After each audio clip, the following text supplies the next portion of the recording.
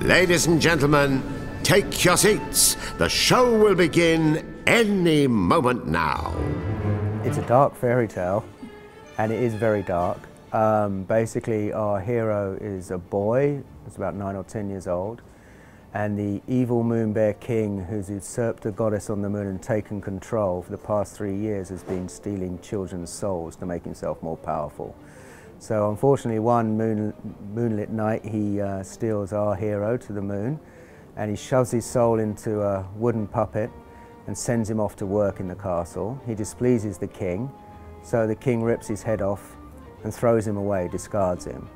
And he eats his head, of course, that's, that's important. But our hero has this amazing power, he's not dead somehow. And then working in the kitchens is a evil tempered witch who's trying to get her hands on this pair of magic scissors and take over the moon. And she's been sending these puppets off to die, continuously streams of them to try and steal these scissors. So she basically sends her cat, flying cat of course, off to, uh, to our hero Kutaro and this cat shows him that he can use these different heads. So he puts on all these different objects and he can, you know, then he goes on this adventure to steal the scissors. And amazingly, of course, he manages to steal the scissors, which has never happened before and that's where his terrible adventure begins. It's kind of funny because I was playing games with my son and he just got up and went outside. And I said, why, why did you do that? He goes, I was just bored. They're all the same. And I went, oh great, thanks a lot, that's your dad's career. But then um, I said, what do you want? He said, I want a game that changes every five to 10 minutes. So we were thinking about it and I went to Bunraku, which is Japanese puppet theatre. And what's amazing about that was that the actual sets change while they're still acting. And then over a few drinks after that, my, my light bulb went on and it went, oh, I can do that. I can change what happens in the game every five to 10 minutes. So instead of moving through the game, the background moves around you all the time. And just as you'll get used to where you are, the whole of the sets will flip and rotate and it'll take you to somewhere new. And it will not only take you to somewhere that looks different, it will take you to somewhere that the gameplay is slightly different. And the characters that you meet are obviously strange and crazy, and they're going to, you know, make it the whole experience different. Step forward, boy, and take your destiny in hand. Your heads of your life, okay? They're life heads, are your heads of your life. And you'll have three lives at once, three heads at once. You get hit, they fall off your shoulders, and you get three seconds to pick them back up. But each of those heads has one individual power, and has the ability to change the world, wherever it is in the game. So once you've changed the world with one head, you want to kind of get rid of that one, and when you found a new one, try and keep that one, because wacky things will happen.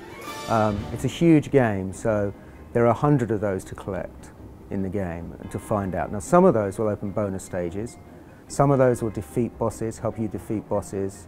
Um, some of those will unlock areas and where you'll meet different characters, and obviously some of those heads will unlock other heads.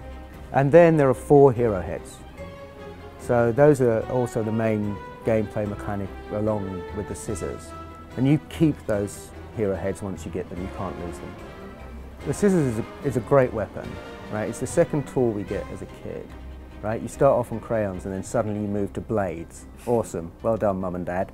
But like that, that thing about cutting, but not only cutting straight, cutting around things and cutting shapes is, is really interesting to me.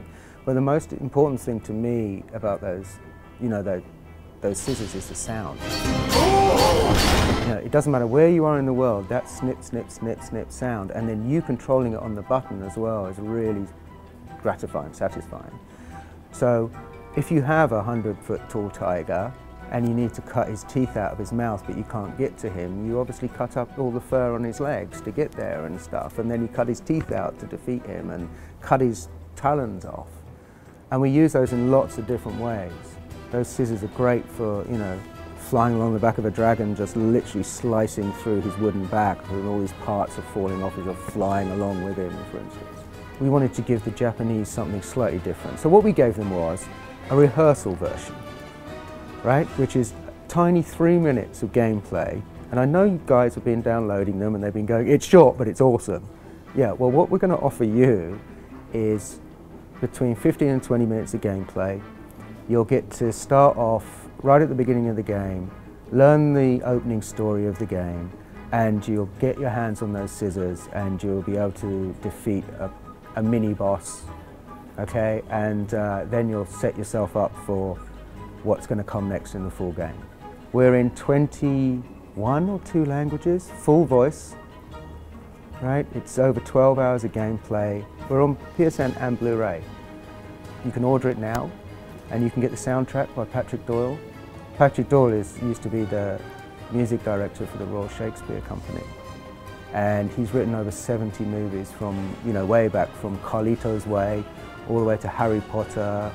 You know, he did the latest Pixar movie recently for, for them. Absolutely amazing musician. The soundtrack on this game is incredible. We've, I think we've given you something like 45 minutes of music. Uh, actually in Puppeteer there are over 70 tracks. So, I mean, play the game just to listen to the music as you play it because it's stunning. And that was how Kutaro acquired the ninja's powers.